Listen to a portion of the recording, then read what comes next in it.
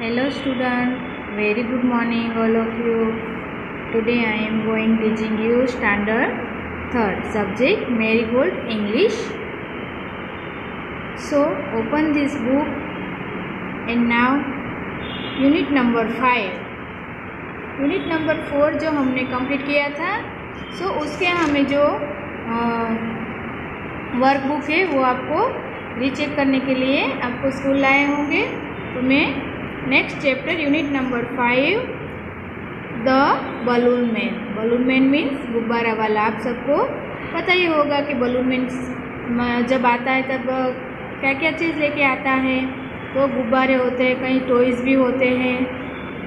सो so, ये जो chapter है वो गुब्बारे वाले के सॉरी ये पोएम है। सो so, ये उनके लिए है। तो does a balloon man visit your market तो मार्केट में आपने बलून मैन मैन से आपने विज़िट तो किया ही होगा। Let's see what this balloon man bring with him so जो ये बलून मैन है, वो अपने साथ क्या क्या लेके आता है? तो आपने देखा ही होगा। So I read I start read the poem he always comes on market days and holds balloons a lovely bunch and in the market square He stays and never seems to think of lunch. So, he always comes.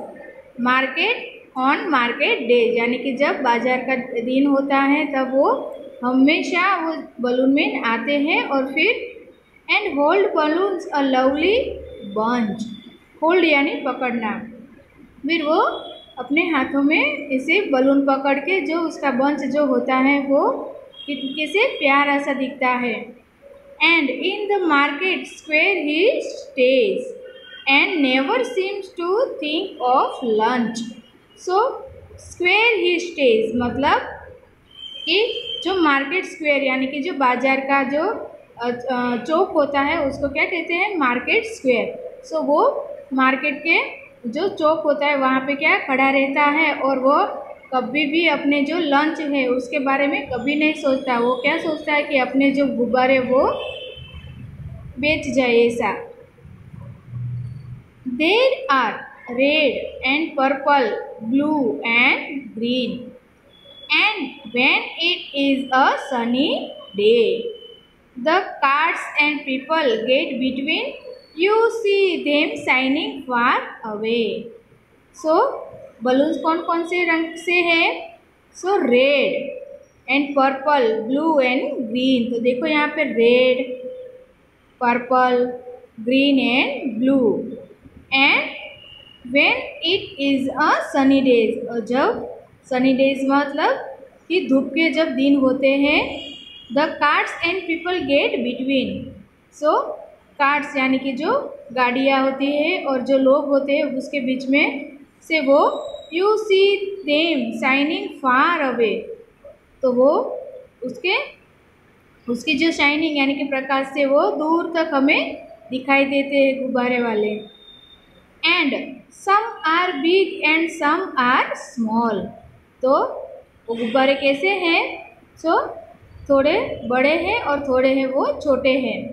All tied together with a string and if there is a wind at all, they tug and tug like anything. So all tight.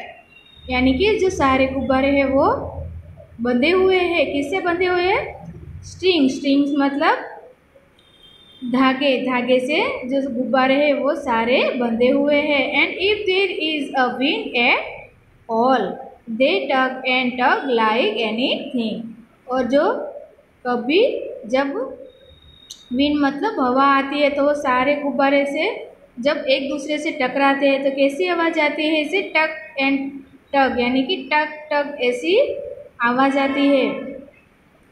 Some days perhaps he will let them go and we shall see them sailing high and stand and watch them from below The would look pretty in the sky. Some days, perhaps, he will let them go, and we shall see them sailing high और शायद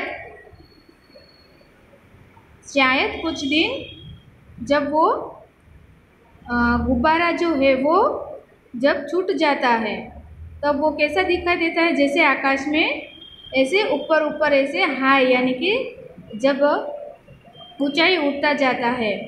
And stand and watch them from below they would look pretty in the sky जब हम नीचे से खड़े होकर उसे देखते हैं तो वो कैसा लगता है? आकाश में एक सुंदर सा दिखाई देता है। प्रिटी मीन्स सुंदर। तो एक सुंदर सा दिखाई देता है। सो ये जो पोएम है, किसने राइट की है? Rose Fyleman. So new word से बंच बंच मीन्स गुच्छा। स्क्वेयर स्क्वेयर मीन्स चौराहा। सनी यानी कि धूप। टक यानी कि आवाज़ आना। ऐसी गुब्बारे जब टकराते हैं तो उसकी आवाज़ आती है।